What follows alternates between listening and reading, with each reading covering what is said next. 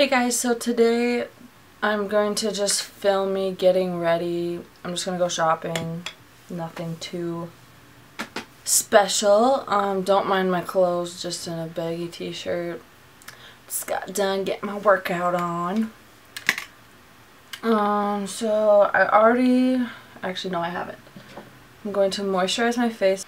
Now that that is done, kind of just let that soak in for just a little bit just so it really gets into my skin. I'm going to, I usually use my Magic Lumi primer but today I'm going to use my POREfessional by Benefit. And I just focus that in my T-zone and then work it to the outsides of my face. I don't really put it all over. And then I'm just going to take my two foundations that I mixed together, the Revlon Color Stay and then the True Match Lumi. And this one's in neutral and this one's in neutral beige. One's kind of warm and one's kind of cool.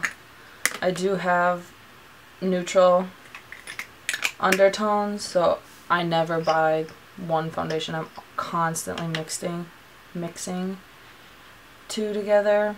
And in the summer, I use more of the Lumi just because it is darker than the neutral beige one. And it kind of is.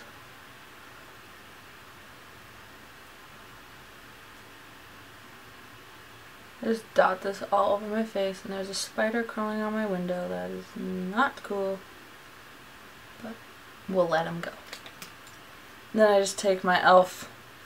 large powder brush tap it in first and then blend out just because I feel like it gives a better coverage when I do that.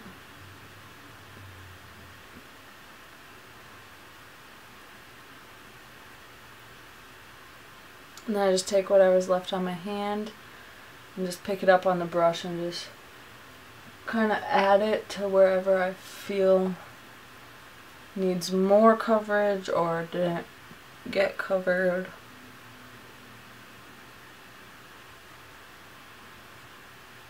And then I always make sure to get my ears because I cannot have any lines.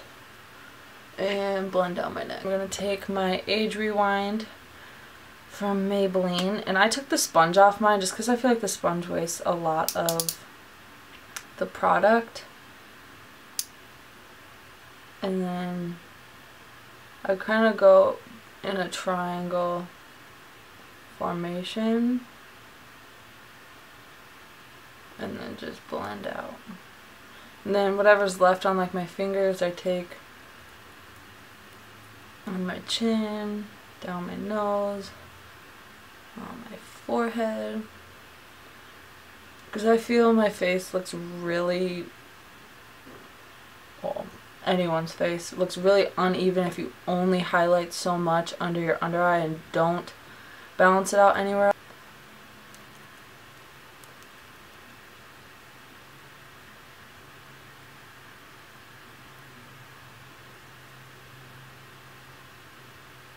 Okay. And I kind of bring it around my nose too, just because I'm kind of red there. So now that we have that done, I'm going to set my under eye with my e.l.f. High Definition Under Eye Setting Powder. And I do like this stuff. It does brighten up my under eye, but I have an itch. Be careful when using loose HD because that's what gives the white undercast under your eye when using flash pictures or when using flash in pictures. So when that's done, I set the rest of my face. Just take the Rimmel Stay Matte, mine's in Sandstorm, and I just take it on a kabuki brush and just kind of push it in, same as my foundation, and then blend it out. Okay, now that I've done that, I'm going to go in and bronze with my e.l.f. bronzing powder and I just take it on a little brush like this. It's from like Mary Kay or something. I don't know. I just found it. And then I just do bigger circles on the outsides of my face. So you can see the difference, how much more shadow that adds. And then I just take a little bit and come up to my forehead, or forehead, I don't have more than one. And then down my neck and my jaw. So kind of anywhere the sun would naturally hit you and the natural shadows of your face. And when I contour, I kind of stay close to my hairline here and then above the arch of your eyebrows where you want to go into your temple. You don't want to bring it too far in because then it'll make your face look way too narrow and kind of alien-like.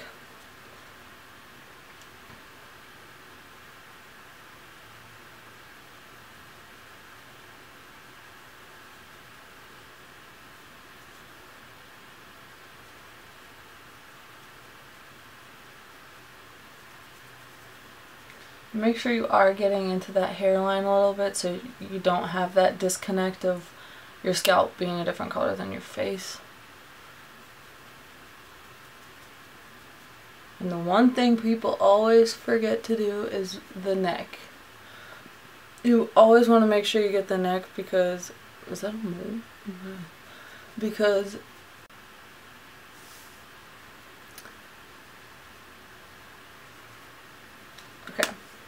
And then I take a Real Techniques contour brush and my Hoola bronzer.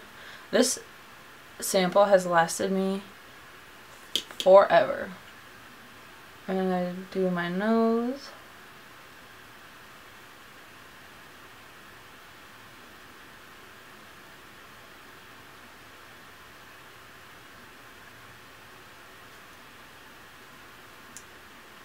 And then I just add more depth into the hollows of my cheek. And this I just move back and forth ever so slightly just right in there to really carve out my cheeks. And then whatever's extra I just bring again onto my forehead and pick up a little more and just do my jawline and under my lip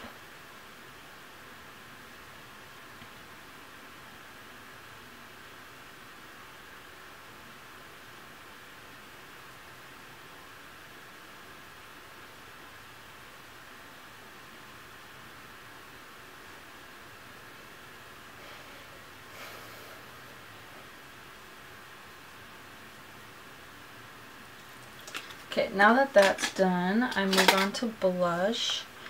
And I do more of a cool tone. I mix blushes. I never, I seldom wear just one blush. But like I said before in my last video, you want to keep it like this. You don't want to angle your brush, your blush, because that looks too unnatural. Oh, there's a hair you kind of just want to move it back and forth. You want to connect it to the middle part of your ear so it's blending in with that bronzer that we just put. And I like to use a stippling brush just because then it doesn't pack on so much color all at once and then you'll have a hard time blending it out.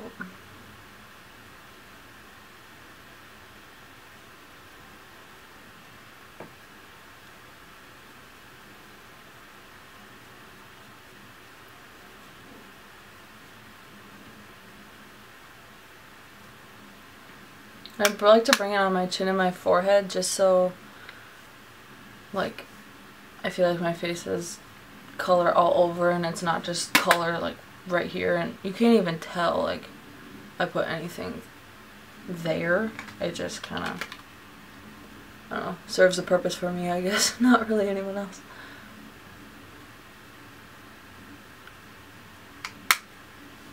Okay, and then I take NYX's Terracotta.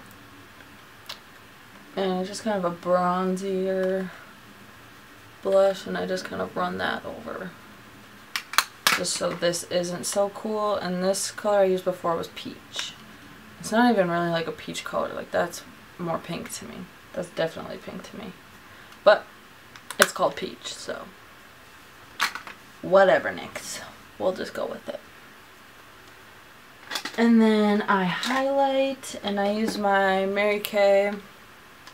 Couldn't even tell you what color it is. There's only two. There's this one and then one that's more of like a bronzy highlight.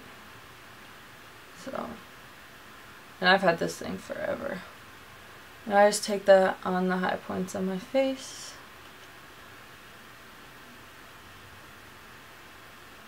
Down the center of my nose.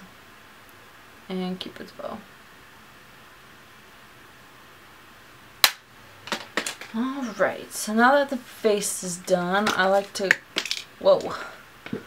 Caps flying everywhere. I like to go through with my Urban Decay setting powder. This is the um, long lasting one.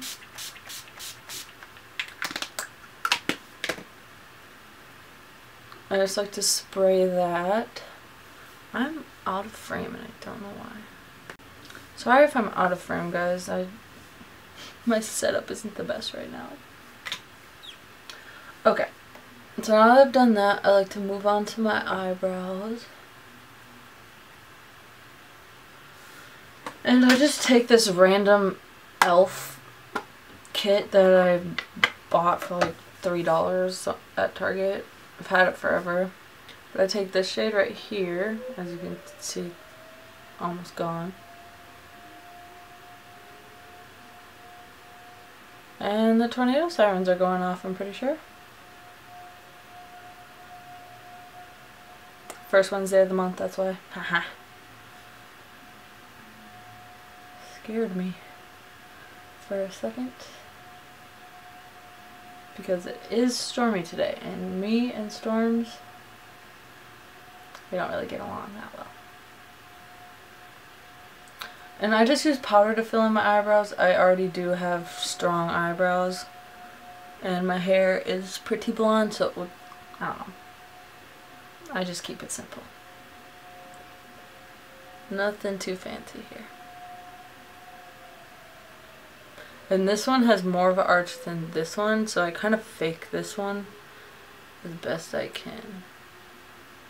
I really focus that on the outer. What is this?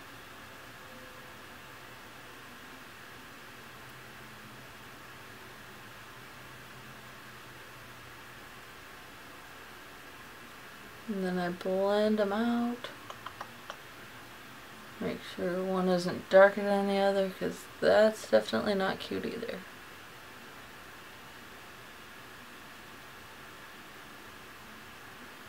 Sometimes I wish I could pull off bleaching my eyebrows and having them be like pink or something fun. Just because I think it's cool that people that can pull that off it's a dream of mine. But we can live without it. Okay, so now that my eyebrows are done, I rarely set my eyebrows with a clear gel. I have one. I'll do it today, but usually on a daily basis I don't. I always forget.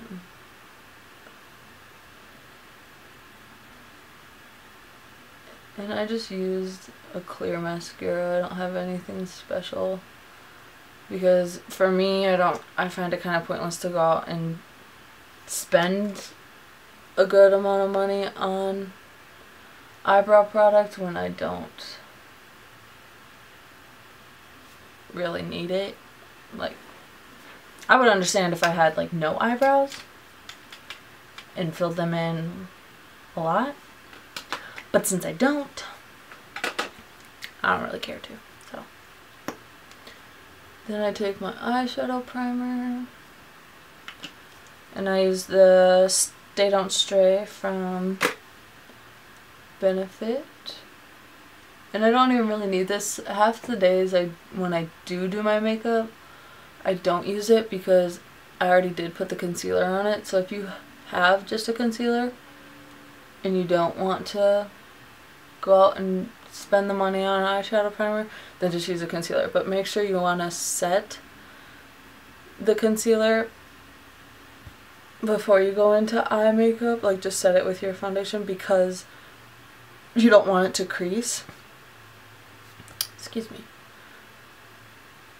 And even with an eyeshadow primer, if you do have oily, oilier eyelids, you can always take either just like a shade that's like skin tone or just your setting powder or translucent powder and set it so that it doesn't crease and then your eyeshadow that acts as like an aid to help blending in your eyeshadow. So there's a plus to it all, people. There's a method to our madness, as we would say. Alright, what do I want to do today? Going shopping. Well, no matter what eye look I do, I always take Naked 2 and my E40 from Sigma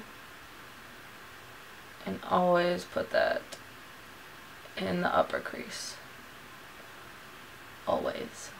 Ask me why, I don't know. I just feel like it adds more shape to my eye, I guess.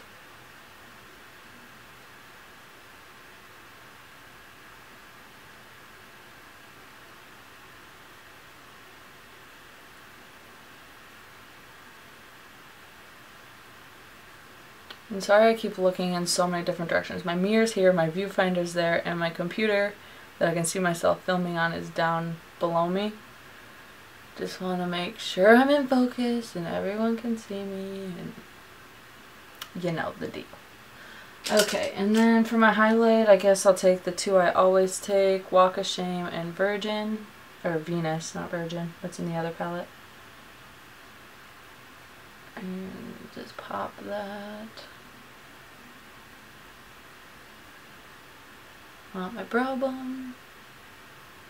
And I mix the two together because one is matte and then the other one is like a teeny, teeny, tiny shimmer. You can't even probably see it on camera, but it just adds like, it's like a satin finish, so it just adds like a little something, but I love this Walk of Shame color for a brow bone highlight. It's like perfect, okay? Okay, so now that I've done that, make sure you're constantly blending each step. Blending is the key to every eye makeup application. If it's not blended, it's not gonna work. Okay. Still don't know what I'm gonna do for my eyeshadow, but we'll take this Lorac Mochaccino eyeshadow and just a small tapered blending brush and just start working that somewhere in the crease I guess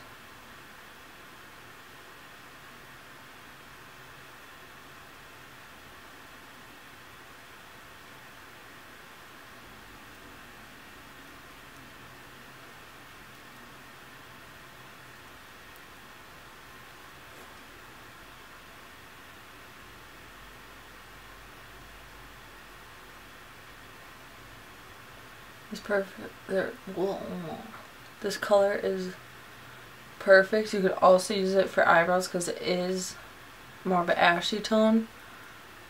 And it's matte, but it is a good crease color. I I think I use this almost every day in my crease, but okay. So now we have that on and blended. I still don't know what I want to do. I'm going to take this Lorac chocolate bar palette and this color, no, kind of looks really white, but it's not really. It's like a goldish color. And we'll pop that.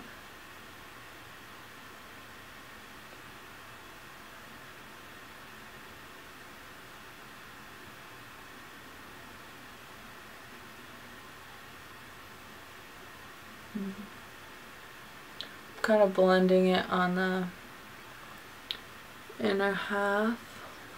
Try and scoop so you can see what I'm doing.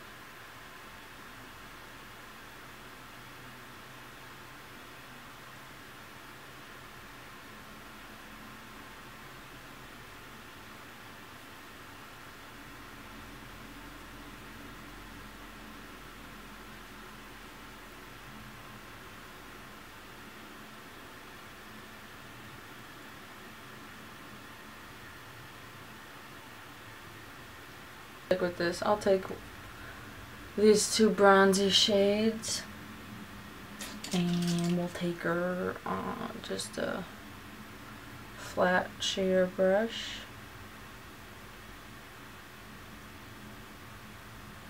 Take a mixture of those two.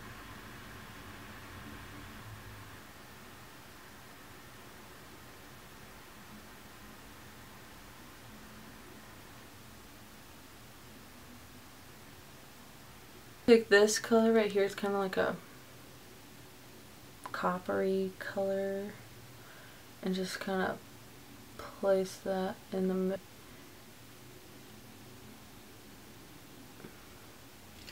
And then we'll take this smaller blending brush and this matte color like and just tap off the extra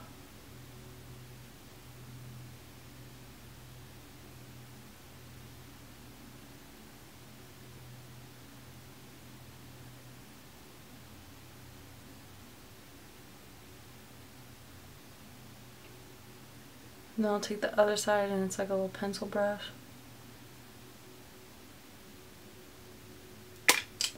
And then I go back in with my E40 and just blend it all out. And I think today we're going to do liner and lashes because I'm just feeling fabulous.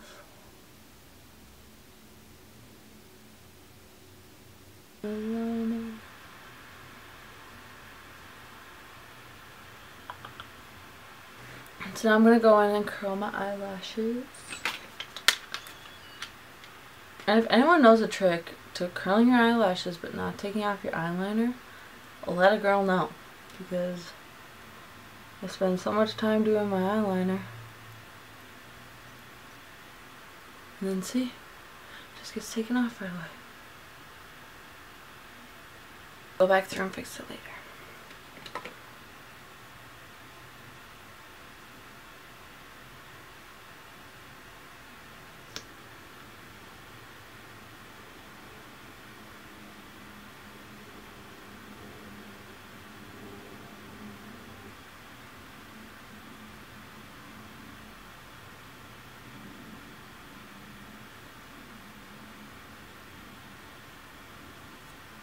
I always just put my glue on the back of something. You can see it right there. Um, and then I just let it sit there for a while. And then I'll move on to the rest of my face. So now I'll do the bottom eyelashes.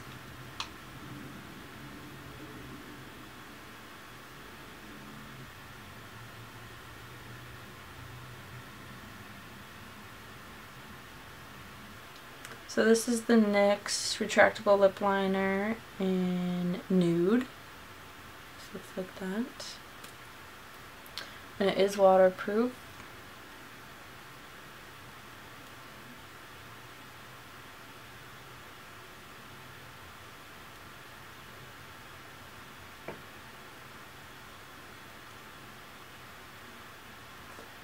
I just kind of fill in the outer corners, not too precisely, nothing special.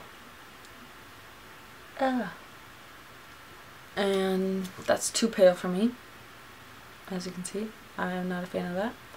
So I'm going to go back in and I'm going to create like a ombre effect with this. And we'll do gloss today.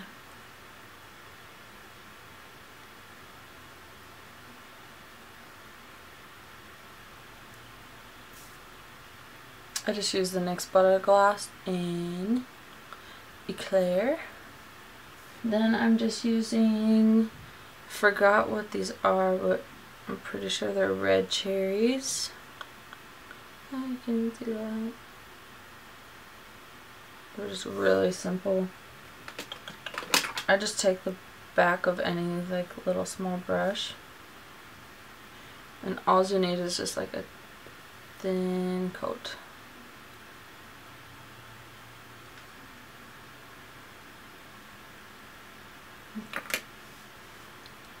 let that dry for just a little bit.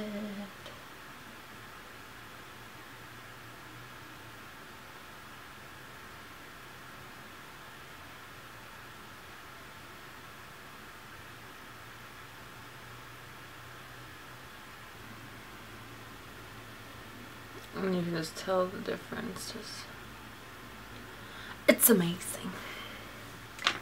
Okay, so now we'll take the other one. The glue. I hate the smell of glue. It smells horrible.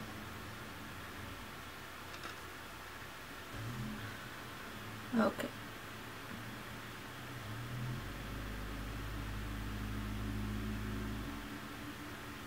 And it makes it easier for me to put on fake eyelashes if I'm looking down into a mirror because then you can just like place it on top and you're not fighting through your lashes when you put it on straight ahead.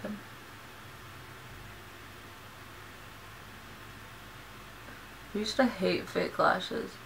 But now I'm obsessed because they add so much to just one look. Even a simple look. Like adding fake eyelashes can just like jazz it up that much more. Just like that. So this is the finished look. Can't get much better.